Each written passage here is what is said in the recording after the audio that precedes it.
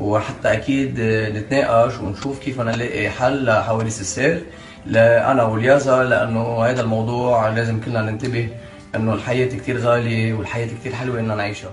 ضج لبنان صباح اليوم بخبر وفاة الفنان جورج الراسي شقيق الممثلة نادين الراسي وطليق عارضة الأزياء جوال حاتم.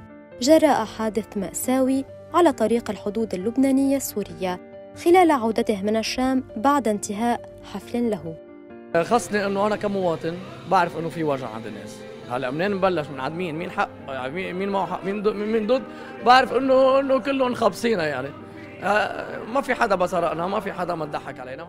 وانتشر عبر مواقع التواصل الاجتماعي صورا ومقاطع مصورة لتحطيم سيارة الراسي بشكل كامل مما يشير إلى قوة الحادث حيث لفتت المعطيات الأولية إلى أن سببه السرعة واصطدام سيارة الفقيد في الفاصل الإسمنتي عند نقطة المصنع الحدودية في البقاع.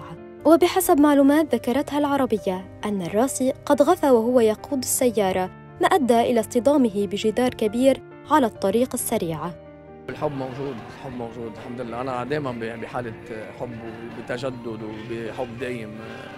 هلا في سنة عن سنة مرات تنزل مرات تطلع مثل الحياة مثل كل شيء. وبدوره كشف الدفاع المدني اللبناني عبر تويتر عن الحادث من دون تحديد هوية الضحيتين مشيرا إلى أن عناصره استعانت بمعدات الإنقاذ الهيدروليكية نظرا إلى تضرر هيكلية السيارة بشدة نتيجة قوة الحادث وقد نقلوا الجثتين إلى مستشفى في بلدة تعنايل المجاورة.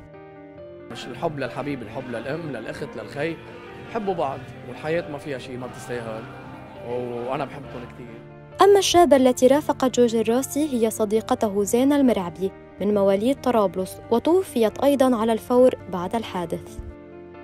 يمكن نحن بنقصر بحق بعض لأنه كل واحد بميله وكل واحد بمنطقة وكل واحد بشغله ولكن نحن حبنا لبعض كثير كبير. ويذكر أن الفنان جورج الراسي قد أحيا حفلا في العاصمة السورية دمشق وأنهى الحفل في ساعات الفجر الأولى وأن منظمي الحفل طلبوا منه البقاء في الفندق والنوم ومن ثم المغادرة. إلا أنه أصر على المغادرة. نحن اليوم بحالة سلام بحالة حب وبحبكم كثير.